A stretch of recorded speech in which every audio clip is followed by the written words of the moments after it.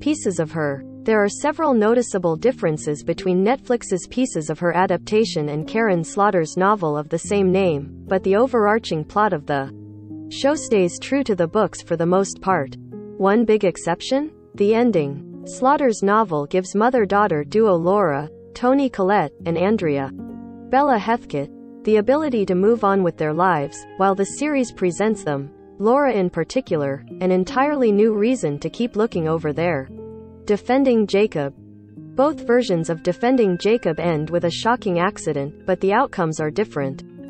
The Apple series, starring Chris Evans, Jaeden Martell and Michelle Dockery, sees both Laurie and her accused murderer son Jacob survive, while he dies in the book penned by William Landay. The Undoing. The question is Jonathan a murderer? Is the crux of HBO's entire series The Undoing, whereas in the book it's based on, You Should Have Known, the answer is clear from the start. Yes. Nine Perfect Strangers. Not only is Carmel not Masha's shooter in the Liane Moriarty book, a huge twist that's dropped on the show's viewers toward the end of the season, but Masha's. Elsewhere threatened by the calls and texts that exist in the Nine Perfect Strangers series. What is in the novel though? Frances and Tony getting married in. Jessica and Ben breaking up. 13 Reasons Why. When a TV adaptation gets the multi-season treatment, it makes sense for new plots, characters and backstories to pop up.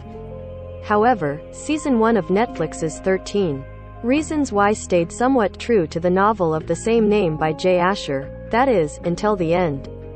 After listening to the tapes left behind by Hannah Baker, who died by suicide, Book Clay mailed them to the next person meant to listen and that's it, we never heard what happened next. On the show, Clay bypassed Bryce, a rapist in both versions, and handed the tapes over to the school counselor. Several new stories played out from there, and the season finale ended with Clay peacefully driving around with Tony and his childhood friend Skye, who, in the book, he doesn't reconnect with until the very end, once he realizes she's showing signs of being suicidal. Game of Thrones. George R. R. Martin has yet to release the final two books of the A Song of Ice and Fire series, but he's publicly stated that they'll feature a different ending than the Game of Thrones TV series that had its finale in 2019. Sponsored links by Taboola. Totally fake, the 35 most fake reality shows people actually believed were real. Articles Mansion. The Haunting of Hill House. Eleanor has a tragic ending on Mike Flanagan's adaptation of The Haunting of Hill House, but in Shirley Jackson's book, which is significantly different and much darker than the Netflix series, all of the main characters have bleak endings. Gossip Girl. There are too many differences between the OG Gossip Girl and the book series to count, but perhaps the most egregious is that Gossip Girl's true identity is never fully revealed in Cecily von Ziegesar's novels, while Dan Humphrey of all people is behind the blog on the show. Little Fires Everywhere. The Richardson home burns to the ground in both the novel by Celeste Ng and Hulu's adaptation, but while Izzy lights the little fires in everyone's rooms in the book, it's her three siblings that do it on the show.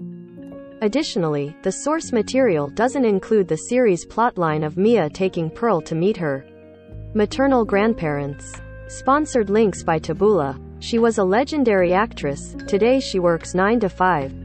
Bedtimes. The Outsider. Both HBO and Stephen King's versions of The Outsider end with the entity known as El Cuco being destroyed. At least, that's what you think happened on the show until a mid-credits scene implies that El Cuco may be inhabiting Holly's body.